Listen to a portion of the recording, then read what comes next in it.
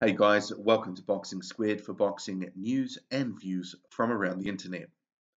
With the news that Shannon Briggs has been banned from boxing for six months because of a failed drug test, question has to be asked, is Shannon the Cannon done? Or will he rise again? The whole situation for me is a really, really sad one. Shouldn't have been like this. Let's rewind for a second. So Briggs, a 45-year-old former champ, made a return to the sport in 2014 after a well-documented hiatus of four years in which he was deeply depressed, overweight, and even contemplated suicide. The Cannon overcame his demons and reinvented himself and his brand with the catchphrase, Let's go champ. Let's go champ! His personality, coupled with nine wins on the trot against mostly pedestrian opponents, let's be fair, put him in a position to fight for a version of the heavyweight title the WBA regular title in June this year against Fres Oquendo. But as we know, that would never come to pass, with Briggs caught with highly elevated levels of testosterone just weeks out from the fight. According to the WBA in their statement, Briggs opted not to have the B sample opened, and in recent days, he was banned for six months. Honestly, what was he thinking? What was he thinking? Had he been clean and got past Oquendo, it would have kept a fairy tale comeback. It could have been one of those stories that ends up being a movie. Honestly, it could have been. The way I think about it, it's like climbing Everest, but then turning around on the Hillary step just before the summit. You've probably noticed that Briggs has gone somewhat ghost on social media and the media in general since the failed test was announced. I mean, just look at his Twitter feed. It's mostly drivel these days. He's not calling out anyone or saying anything of note, nothing meaningful. I guess with this whole situation, there's two things to consider when we think of what's next his brand, and does he have the wherewithal in general to carry on?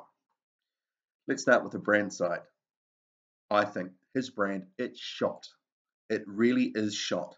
The whole let's go champ thing, it doesn't have the same ring or zing that it once did the failed test, that really let the air out of the balloon on that one big time.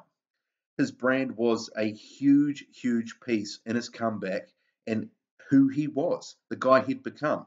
He was a one man marketing machine based on that one saying. It put him back in the minds of fans. No doubt, and I have no doubt that the merchandise side of this equation and that part of the business side, sure, it must be hurting right now. Uh, and plain and simple, people don't like to be associated with cheats. And he is a drug cheat now. His decision not to get that B sample tested, that has to be taken as an admission of guilt. Okay, two, can he carry on fighting?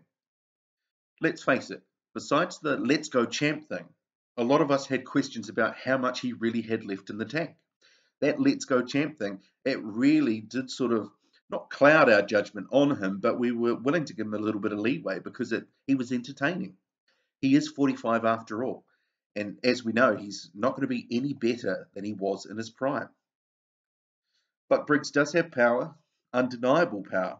If he hits you on the button, you're going to go. But he probably really only had four or five rounds at the most per fight that he was going to be at the top of his game.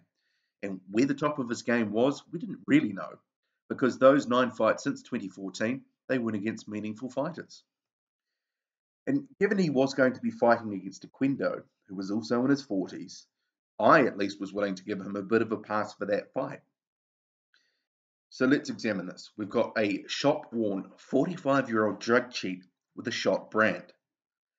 I'm not saying he can't come back, but it's not going to be easy a lot of people have been let down and feel let down by Shannon's failed doping test.